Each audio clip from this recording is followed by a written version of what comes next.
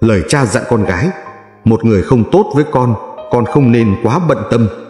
Trong cuộc sống của con, không ai phải có nghĩa vụ đối tốt với con trừ cha mẹ. Còn với những người tốt với con, con nên trân trọng và biết ơn điều đó.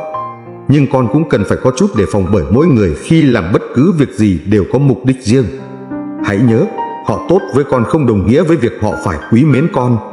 Không có ai là không thể thay thế, không có vật gì thuộc hoàn toàn sở hữu của con. Vì thế, nếu sau này người con yêu thương không còn ở bên, hay họ không còn là nơi con có thể đặt niềm tin, con cũng đừng bi lụy.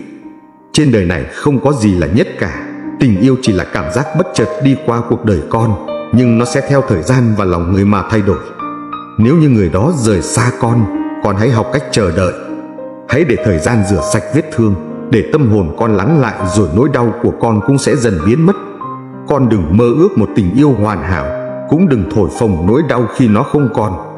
Con không nhất thiết phải chăm sóc cha nửa cuộc đời con lại và cha cũng thế. Khi trưởng thành, con có thể tự mình bước đi, trách nhiệm của cha cũng đã kết thúc. Sau này dù con hạnh phúc hay buồn đau, con đều phải tự mình lựa chọn và có trách nhiệm với nó. Con có thể bắt mình phải giữ chữ tín, nhưng không thể yêu cầu người khác làm thế với mình. Con có thể yêu cầu bản thân phải đối đãi tốt với người, nhưng con không thể kỳ vọng người ta sẽ làm ngược lại.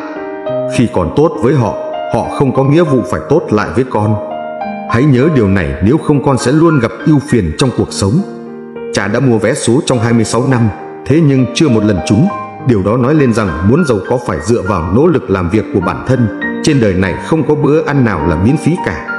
Chỉ những ai có duyên phận mới trở thành người thân của nhau, cho dù trong cuộc sống bận rộn con ít khi gặp mọi người. Nhưng con hãy trân trọng từng khoảnh khắc khi còn bên họ, hãy dành cho họ thời gian để yêu thương con hơn